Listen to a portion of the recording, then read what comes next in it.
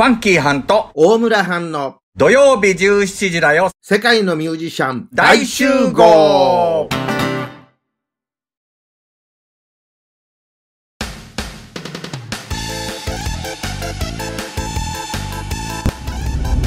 はい。今アジアンハイウェイ1号線を走っております、えープノンペンから、えーバベット、えー目指しておりますが、えーバベット抜けてホーチミン抜けてこれは中国まで続いてるそうですね、えーしかもプノンペンの後ろ側はですね、えーシェムリアップ行って今度タイの方を回ってですねシンガポールまで続いてるという道ですけれどもね、えーバベットという町に今向かっております。はい。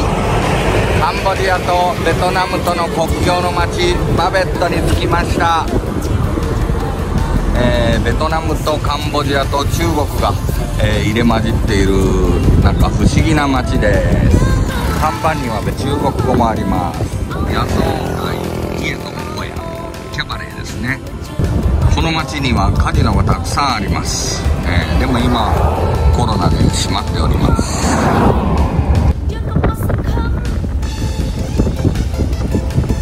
チャイナタウン建設中です。マーケットです。庶民の台所ですね。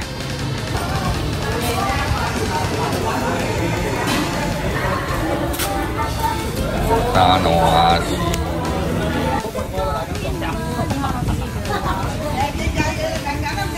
そしてここは中国人スーパー。もう中は中国の地方都市と全く変わりません。もう匂いもそのまま。表示も中国語だけです。正面に見えるのが国境です、えー左側にトラックが並んでおります、えー昨日からカンボジア人とベトナム人の、えー往来が認められましたが、えートラックはずっと前から、えー物流はずっと途絶えずそのまま続いていたようです。これは国境です。中には入れません。はいここが先ほどの国境の、えーまあ、ボーダー施設なんですけれどもね、えーここは横です。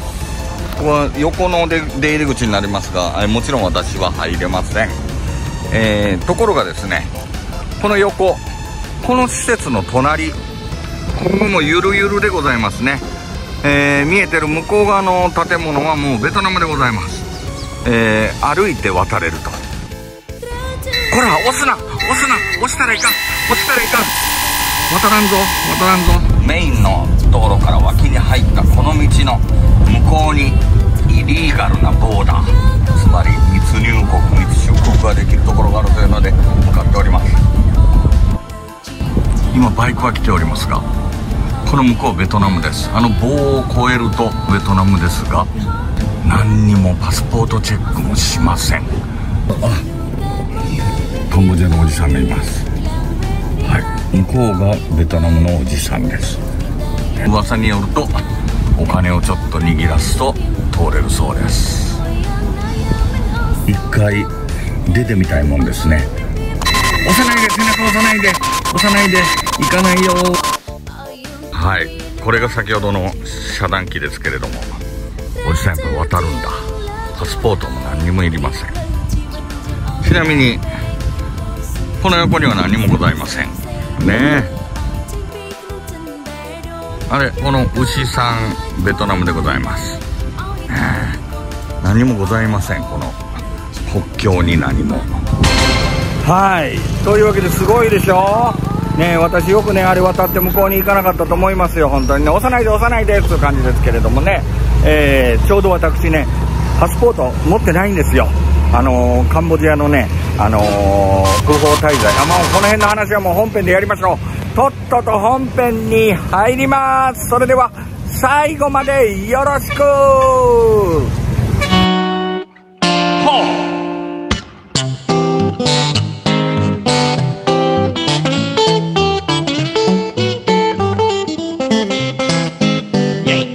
ちょっと遊びに来た。ちょっと歌いに来た。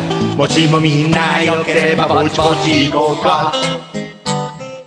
ちょっと遊びに来た。ちょっと歌いに来た。気楽な気分で笑って聞いてや。アホな歌しか歌われへんけど。酒でも飲んでのんびり聞いてよ。のんびり聞いてや。ちょっと遊びに来た。ちょっと歌いに来た。しょうもない歌を最後までよろしく。ちょっとそこ行くのは眩しすぎる。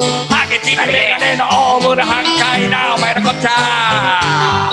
髪はもじゃもじゃ太鼓腹。カンボジアとベトナムの国境で密中国を企てるファンキーゼロチ酒ばっか飲んでばっか騒ぎだけど歌とギターの素敵なハーモニーハモってます。ちょっと遊びに来た。ちょっと歌いに来た。しょうもない歌を最後までよろしく。さあ今日のゲスト丸山まさ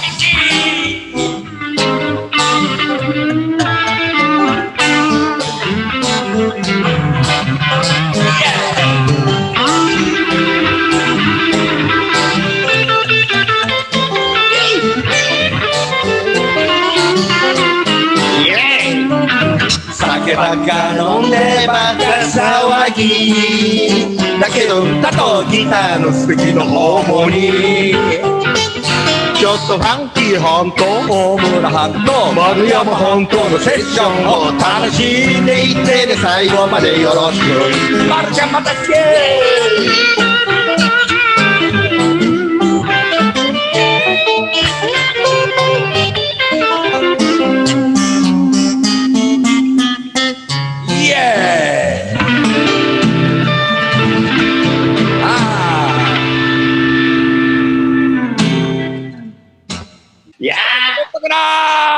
山まさみさんでーす男前お元気ですか？まるちゃんお元気ですか？ああーファンキーさんもご無沙ああ、汰ですどうもどうも、久しぶりね。久しぶりやな。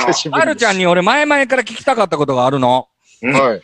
髪の毛白いでしょ、まるちゃん。はい。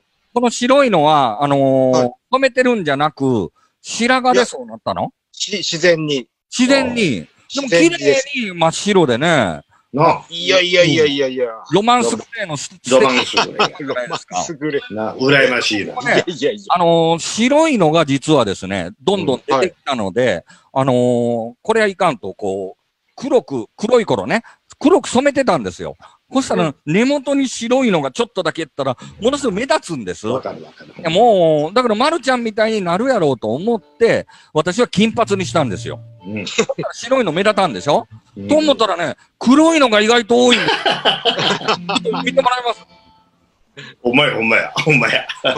だから結局1ヶ月に1回染めに行かねえかんのです。あ明日カンボジアで、あのー行くんですけれどもね。すまんね、髪の毛の話ほなんまに楽しそうやな。入られへん。ほんまにね。入られへん。えー渡辺秀樹さんの最後のバンドとなりましたが、ボズームというバンドで、こう、いつも一緒におりました、ツアーもある。ね。えー、というわけで、えー、毎年毎年、丸山秀樹さんじゃない、丸山秀樹さんや。渡辺秀樹さんね、7月13日に、えー、や今年、去年私、中国で、えー、60歳の、えー還暦ライブ、えー、友達がやってくれてるんでね、あのー参加できませんでした。で、今年はカンボジアから出られないので、やっぱり参加できませんが、何かやるんですね、7月13日。はい、やりま、やらせていただけることになりましたね。ね、あの、ちょっと、はいあのー説明してくださいな、どんなイベントなんか。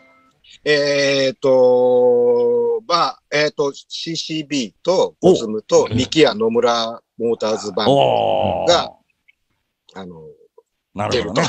というわけで、あのー、秀樹さん、えーボズムでね、あのー一緒にツアー回った時にですね、あのー大村ハンチに泊まらせてもらいましてねい。つもな。うん。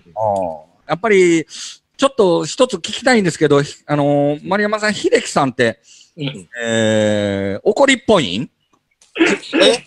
彼を見たことないんです。そんなことはない。まあこっちの方が声はでかい温厚ですよね。うん。温厚ですね。ねえ。それがね、皆さん聞いてくれます？あの人、もともとね、あの、肉食べられなかったんです。肉というものが嫌いなんですよ。何が嫌いって、あの、口の中に残るゴムみたいな食感がなんか嫌いらしい。で、私と知り合って生まれて初めてホルモンというものを食ったんです。な。嫌いなんですよ、基本。でも、なんかまあ、年取ってくるとね、好き嫌いもあれやつうことで、頑張ったのかもしれません。あの、食感は気持ち悪いけれども、食べられないことはないと言ってた。うんホルモンデビューをしたわけですね。そしたらですね、えー、ステーキ屋さん。今考えたら肉嫌いの人をようステーキ屋さんに誘いました行ねっ。たね、いつも。で、あの、マーメイドね、森口。マーメイドそうそう。マーメイド。森口森口市駅でしたね。えーそのランチのね、うんまあいい肉をね、手頃な、あの値段で。で、ワイン頼んで、うん。感じでね、食ってましたが、私ね、油肉っていうのが大好きなんですよ。油だからやっぱり赤身の肉よりはサーロインうん。で、私、ポポポと先に食ってしまいましてですね、隣の秀樹さんのところをふっと見ますとですね。油肉残してんのよ。うん。そりゃそうやわ、ホルモン食べれんかった人やから、油肉が食べれるわけないと思ってね、うんあ、残してんだ。じゃあ、あの、俺食べるねって言って、パクッとやった瞬間に、なーってことするんだよもう えー、って言って、私ね、あの人が怒るの生まれて初めて見たんですよ。あの温厚な秀樹さん。もう、えーって言って、最後に食べようと思って、出したんじゃないかなーってことするんだ。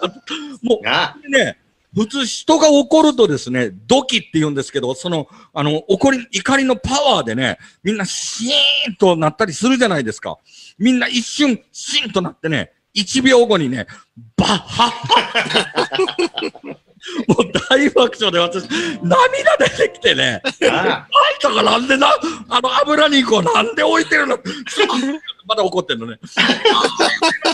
食べようと思って、嫌いやったやないの、あんたって言ってね。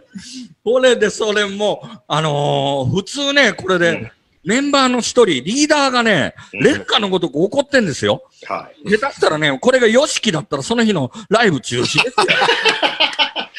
肉で。一切れ。これがね、もう、ライブの、なんかもう、リハーサルの時からね、本番の時までね、ずーっとそれが頭に残って、これこれこれ。これで、秀樹さんが亡くなった、その後もですね、もう、なんか、揃えば、この3人揃えば、必ずその話になるよねほ。んまやな。あの時、秀樹さんが怒ったのが、おかしくってって、怒っ赤ワイン、赤ワイン飲みながら。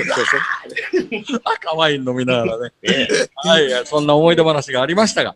うんえー、ここでね、もう皆さんなんかもう秀樹さんの歌とか、ボズムの歌をなんか聞きたいという声も大き多かったんでね、もう私ですよ、歌ってんの、もう。プレッシャー多いんですけど、一曲、ボズムの曲を歌わせてもらいたいと思います。おその2枚組の、えー、全シングですね。えー、の中から私一番好きな曲で、これ不思議な詩を書くよね、秀樹。笑ったな、笑ったな。最初はね、これ、なんかね、あのーモスキートソングという、このモスキー、あのタイトルを知らなかったから、ものすごいなんか SM チックな愛。の歌だと思ってたのね。僕もああ、血を吸うからね。血を吸ったりみね、んなに嫌われてるけどねうん。気を吸使われてたりね、腕に止まらして、うん 血を吸うとかね、ね。すごいラブソングだなと思ったら、カの歌なんですね。そうかそうそう。ねでもそれが、カートも取れるし、ラブソングとも取れるっていうね、そうやな。すごい、えー素敵な歌です。歌わせていただきたいと思います。モスキートソング。One, two, three, two, two, three.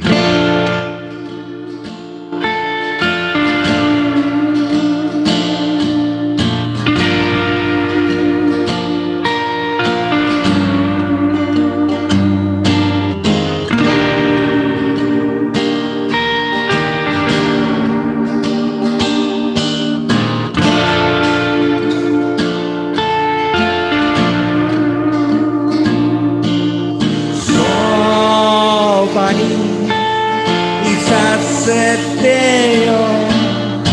Somebody いさせてよ。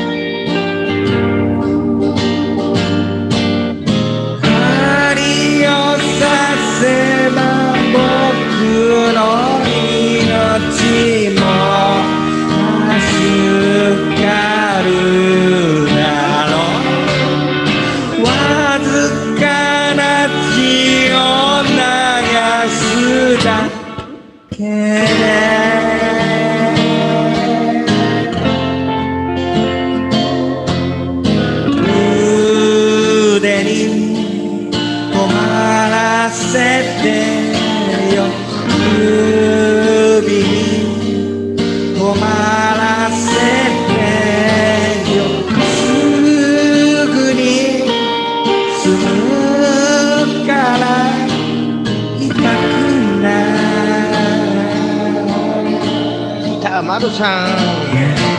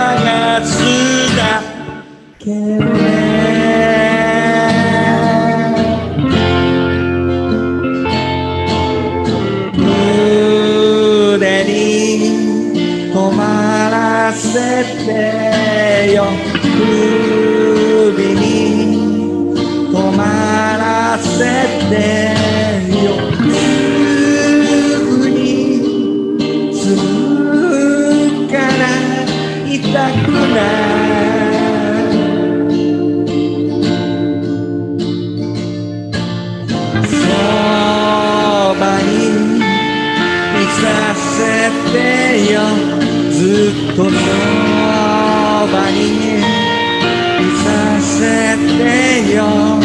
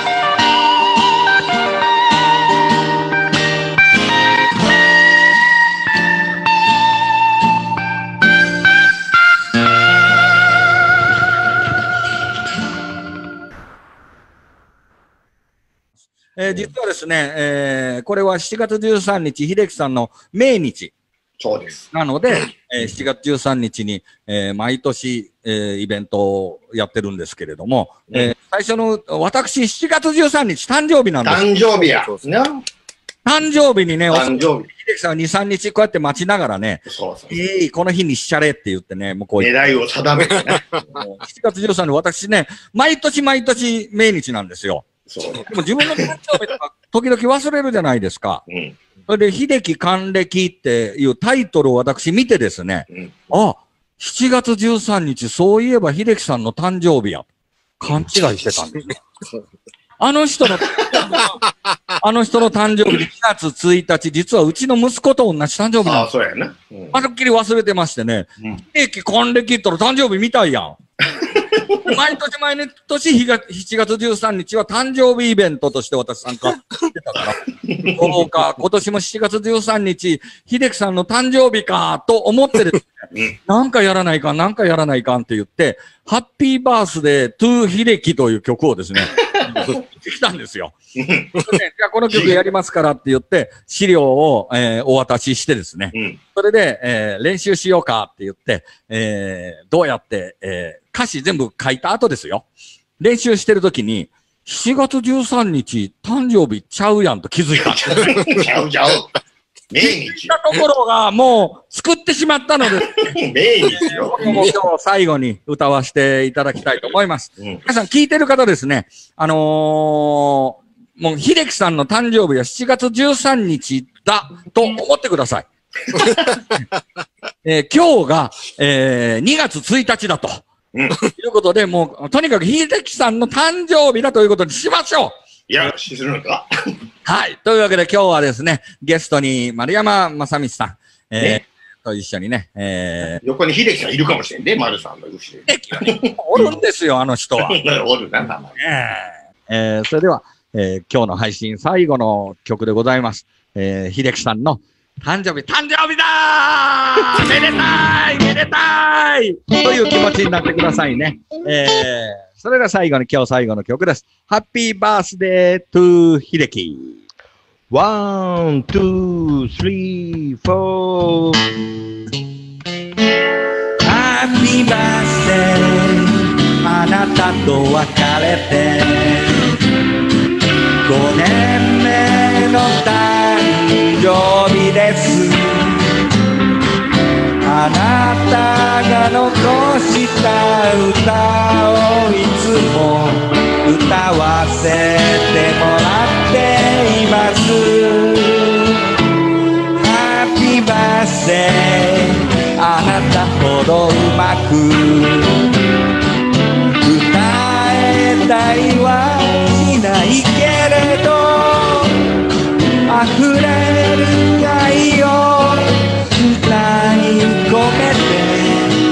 只 nghe 當我。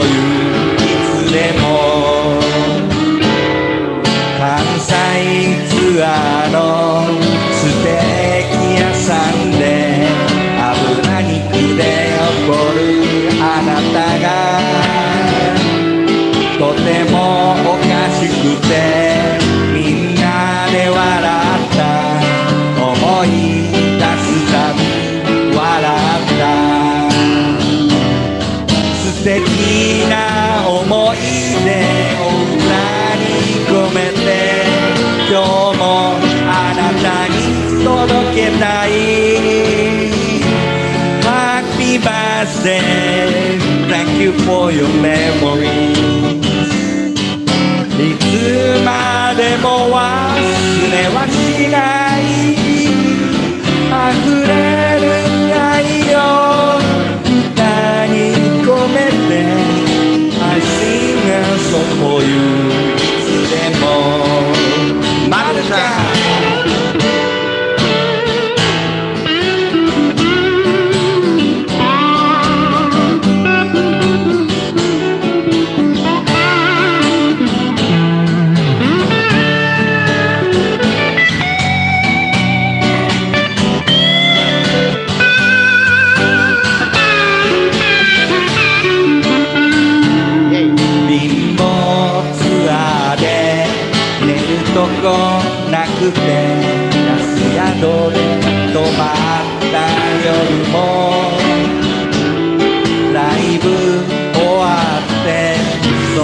車飛ばして帰る時もいずれ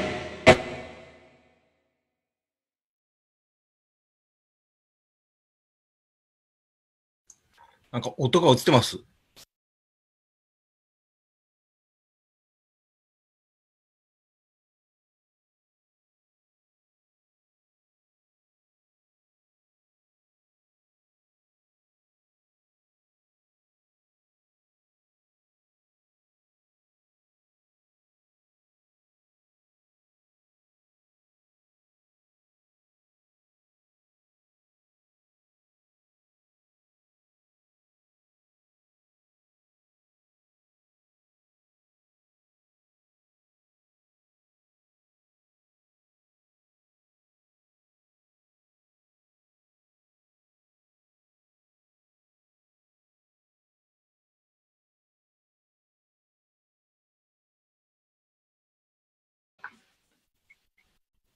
はい。皆様、また投げ銭カンパをよろしくです。もうね、このネット環境をちょっとずつ整えております。皆様どうぞよろしくお願いします。こちらへ。